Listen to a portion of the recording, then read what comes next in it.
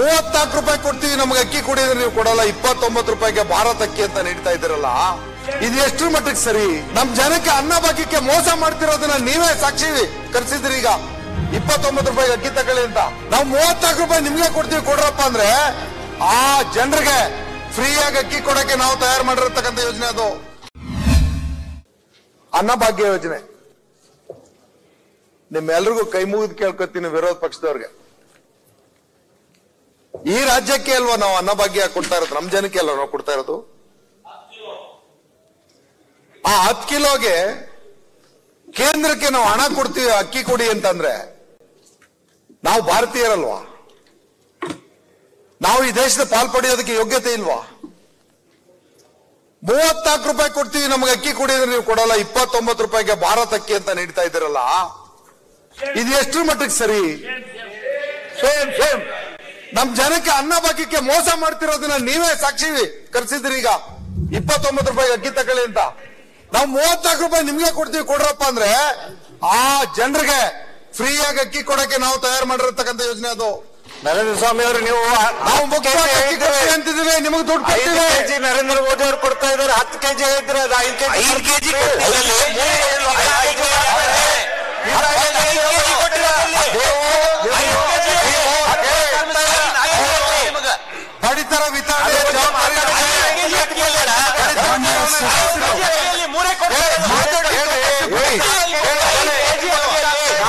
ನಾವು ಘೋಷಣೆ ಮಾಡಿ ಸದಸ್ಯರು ಕೊಡಿ. ನೀವು ಎಷ್ಟು ಕೆಜಿ ಕೊಡಕ್ ಒಂದು ಕೆಜಿ ಕೊಡಕ್ ನೀವು ಅರ್ಥ ಮಾಡ್ಕೊಳ್ಳಿ ಒಂದೇ ಒಂದು ಕೆಜಿ ಕೊಡಕ್ ಆಗ್ತಾ ಇಲ್ಲ ಐದು ಕೆಜಿ ಕೂಡ ಕೇಂದ್ರ ಸರ್ಕಾರ ನರೇಂದ್ರ ಮೋದಿ ಸ್ವಾಮಿ.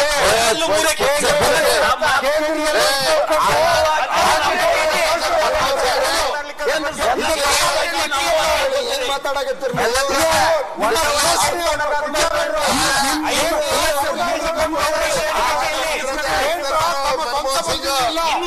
ರಾಜ್ಯಗಳ ಒಕ್ಕೂಟ ಅದು ಛತ್ತೀಸ್ಗಢ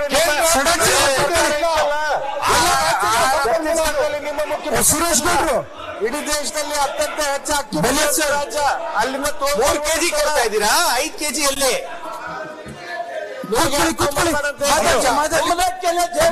ಒಂದ್ ನಿಮಿಷ ಕೂತ್ಕೊಳ್ಳಿ. ಹೇಳ್ರಿ.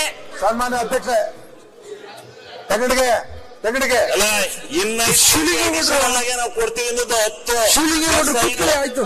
ಹತ್ತು ಕೊಡ್ತೀವಿ ಅಂದದ್ದು ಒಳ್ಳೆಯ ಇಲ್ಲ ಮಾತು ಎಲ್ಲಿದೆ? ಅನ್ನೋದಾದ್ರೆ ಮೊದ್ಲು ಹತ್ತು ಐದು ಕೆಜಿ ಅಕ್ಕಿ ಕೊಡಿ. ಶಿವಲಿಂಗೌಡ್ರು ಒಳ್ಳೆ ವಿಚಾರ ಹೇಳಿದ್ರಿ ನೀವು. ಮೂವತ್ತ ನಾಲ್ಕು ರೂಪಾಯಿಗೆ ಐದು ಕೆಜಿ ಅಕ್ಕಿ ಕೊಡಿ. ಭಾರತ ಮಾತೆ. ನಾವು ಮಾತಾಡೋರಂತೆ ಭಾರತ ದೇಶದ ಕೊಡ್ತಾ ಇದ್ದೀರಾ.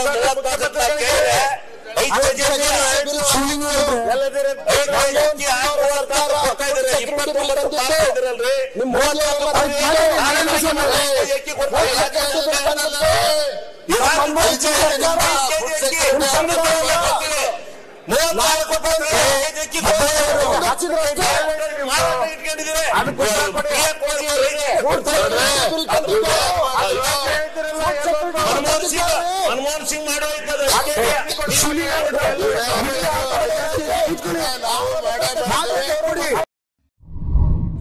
ಮತ್ತಷ್ಟು ವಿಶೇಷ ವಿಡಿಯೋಗಳನ್ನು ನೋಡಲು ಮತ್ತು ಹೊಸ ವಿಡಿಯೋಗಳ ಬಗ್ಗೆ ತಿಳಿಯಲು ಈ ದಿನ dot com YouTube channel subscribe ಮಾಡಿ ಮತ್ತು ಬೆಲ್ ಐಕಾನ್ ಕ್ಲಿಕ್ ಮಾಡಿ.